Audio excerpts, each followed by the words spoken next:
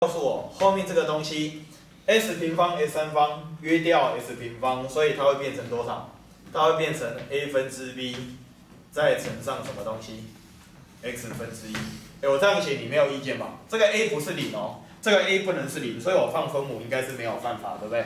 然后再来再加上，哎，看我这边，来，请问你加上什么东西？这是 a 分之 c，然后 x a 三方，所以这里要写什么？s 平方分之一，再加上来这里是 a 分之什么？a 分之猪，然后这里是 x 三次方分之一，哎，这样懂吗？知道你做什么事对不对？那现在同学你看哦，哎，hello，你仔细看我这边，当这个 x 超正的时候啊，来，同学你看哦，你知道什么叫 x 超正？比如说举个例子，s 要超正对你们来讲，比如说 s 等于多少算超正？你们觉得 S 多大对你来讲算超正？一百万可不可以？好，比如说 S 等于一百万。好，我现在哦，同学你看我这边，假设 S 等于一百万，把它带进去。请问同学这一项会变多少？一百万分之一。同学我问你，一百万分之一，它是不是零？它不是零。但是它几乎是零了，对不对？一百万分之一，哎，再乘上 a 分之 b，这是一个非常非常接近零的数字。所以原则上这个时候你几乎可以怎么样？你几乎可以忽略它。你说老师，可是它不是零，对，但是它已经很靠近很靠近零了，对不对？就是你把 s 当成一百万嘛，对不对？这个家伙就是小到就是你可以忽略它，它基本上就是零了，就跟零很靠近。那我问你哦，这个是谁？一百万的平方分之一，我靠，那这个当然也很靠近零啊，对不对？它不是零，我再强调一次，它不是零，但是它非常非常靠近零，好，那小到不可思议这样子。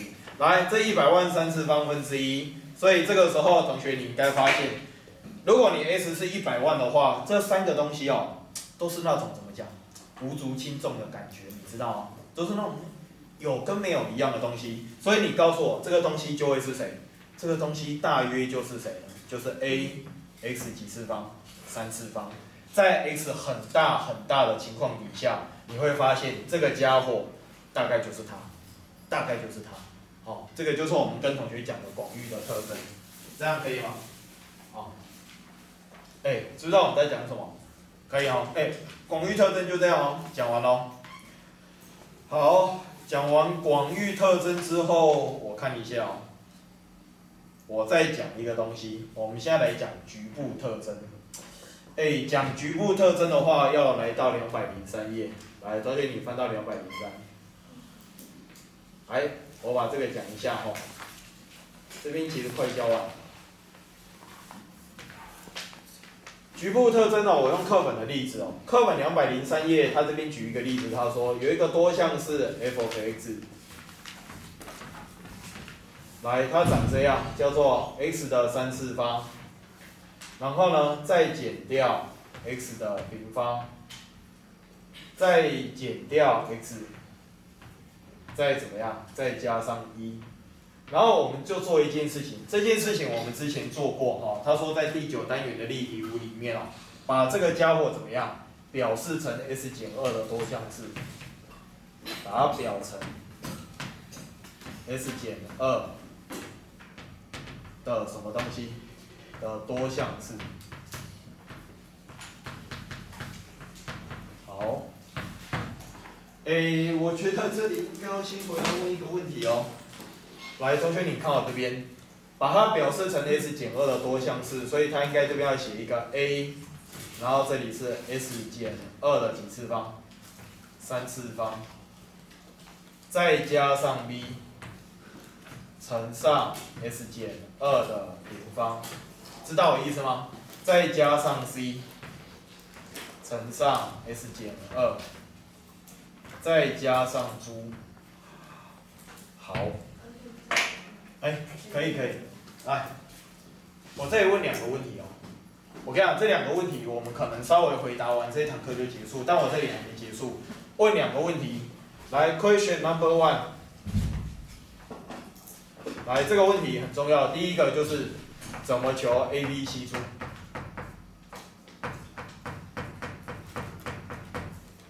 你们还记得吗？我要怎么去求 A、B、C 株？我觉得这第一个问题你要知道，你要怎么去算 A、B、C 株，然后再来第二个问题，Question number two，你猜我要问什么问题？当你把这个多项式哦，把它表示成 S 减二的多项式，同学这个叫做中心转换，这个叫做把这个多项式怎么样变形？请问你把它变形成这样子，请问这个叫做配立方吗？这个是不是叫配立方？啊，就问你这个问题，这是不是配立方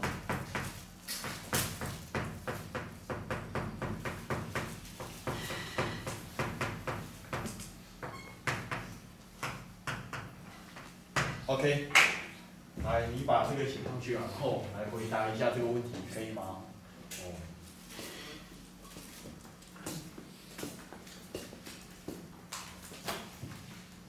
哎，这个可以问谁呢？哎，我可不可以先问第二个问题？请问你哦，这个写成这样子的话，是不是配立方？是还不是？是吗？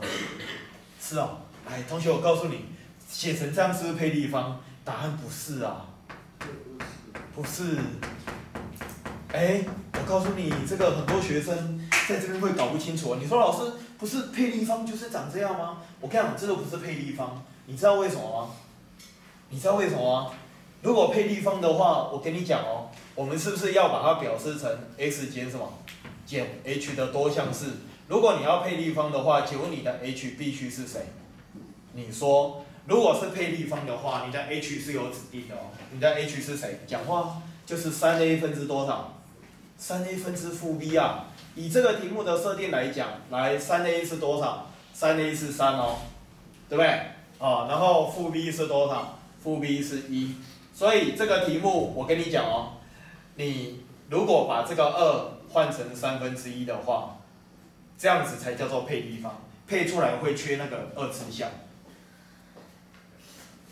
知不知道我我现在在强调什么概念？我现在强调的概念就是说，你想要把这个家伙表示成谁的多项式，那是你家的事情。你要表示成谁都可以。你说老师，我可以把它写成 s 减二的多项式，对不对？我可以把它写成 s 加三的多项式。我告诉你可以，随便你，你可以把它变形。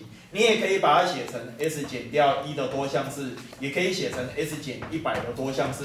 你要把它写成谁的多项式都可以。等一下我们会告诉你怎么把 A、B、C 株求出来，都可以。你随便你高兴，你要写成谁的多项式，我们都没有意见，对不对？但是请问你是不是写成这种形态就叫做配立方？不是，配立方是一种很特殊的中心转换。你的中心是谁？你告诉我，你的中心必须是三 A 分之负 B。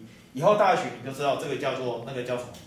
哎，这个叫泰勒展开式啊，好，这个我不讲太多。简单来讲就是说，你配立方这个 h 是有指定的哦，必须是三 a 分之负 b，这样可以哈。哎，你要注意一下哦，有些学生会把配立方跟这种东西会有一点混在一起，其实不对哦。哦，配立方是一种特殊的中心转换。好，好，那接下来问你怎么求 a b c 株？哎，这高中数学的策略是固定的。来一负一，然后负一一，来你猜要怎么做？就是连续使用综合除法。来，同学你看我这边，我做一次给你看哦。哎，看我这里，看我这里哈。来，请问这里要放多少？这里是 s 减二，所以这里要放谁？要放二。你就把这个一把它放下来。一乘以二是多少？二。相加，相加是多少？一。一乘以二，这里是二，相加这里是一，一乘以二，这里是二，一加二等于多少？三。我现在跟同学讲，这个三就是谁？这个三就是这个猪。我告诉你，三就是这个猪。你说老师为什么？这个很简单，我举例给你听哦。多项式的除法哦，它就像是一个过滤的感觉，你懂吗？我现在用 s 减二当做滤网，请问你？我的余式是谁？当然就是这个猪啊，对不对？这个会整除，这个会整除，这个会整除，所以留下来的那个东西就是猪。你听懂那感觉吗？我们在做除法原理的时候，这个除以 s 减二，这个 s 减二就像是一个那个叫什么空气滤清机的那个滤网，有没有？就是它是过滤的感觉。你把它过滤之后，留下来的东西就是你的余式。好，那我跟你讲哦，再除第二次，再一次哦。来，这个一你再把它放下来，这个是一，一乘以二，这里是二，一加二三，三乘二多少？六，六加一多少？七。来，我再过滤第二次，请问你哦，再过滤第二次的话，剩下来的东西是谁？就是这个家伙，就是七嘛。哎，我看一下课本啊，我有没有写错？应该没有。嗯，我看看哦。哎，没有错，它是七。这样可不可以？哎，你先看一下，这个家伙就是七，可以哦。我刚才过滤一次啊，是不是它？啊，再过滤第二次，这个 C 就会留下来。因为我就你就想，我装了两层滤网嘛，装了两层滤网之后，这个 C 就过不去了，它就会被留下来，对不对？然后如果我现在再做一次除法，来，这里是一，然后这里是二，一乘二是二，三加二是多少？五。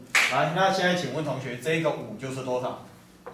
这个五就是 b，来，那我问你，这个 a 就是多少？这个 a a 就是谁？a 就是一啊。所以现在的同学你应该非常清楚哦。来，这个 b 就是多少？五。这个 a 就是一。我们怎么把一个多项式表示成 s 减二的多项式？高中数学教你一招，连续使用综合除法。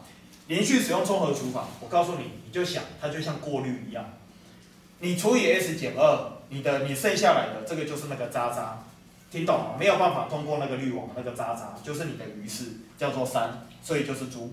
然后你再装第二层滤网，再过滤第二次，就是你懂吗？它掉下去之后，你再过滤第二次，谁会被留下来？C 会被留下来，因为这一坨东西它只能通过一层滤网，到第二层滤网它就会被卡住，这个 C 就会被留下来。这样你懂不懂？知道我在讲什么？知不知道？这个是猪，这个是谁？这个是 C。对，然后你再装一层滤网，你有没有看到谁会被留下来？B 就会被留下来，它就是一种一层一层的概念，哦，连续使用综合除法。好，那我觉得这堂课讲到这里差不多，跟同学谈一个很重要的问题，啊，那个志勋哥帮我拍这里。我们这堂课我告诉你哦，高一的小朋友要学会什么东西？广域跟局部。我们就是最后把这东西再讲一次。我下我们二零二零年再见面的时候，我会把这个概念哦，再把它继续把它讲完。好，我们今天大概只有讲一半而已。请问你什么叫广域特征？你说，哎呦，广域特征就是远远的看嘛，对不对？近看差很多啊，远看差不多啊，就这种感觉啊。近看觉得，嗯，这不太一样。可是你拉很远之后，发现，嗯，好像也还好，对不对？差不多。那你知道什么叫局部特征吗？哎，局部特征就是近看像什么，远看像什么线？曲线，弯弯曲曲的，对不对？它近看像什么线？直线，这样懂不懂？哦，就类似这种感觉，这样可以吗？OK，好，那今天就先这样喽，大家辛苦了，来，咨询各位谢啦。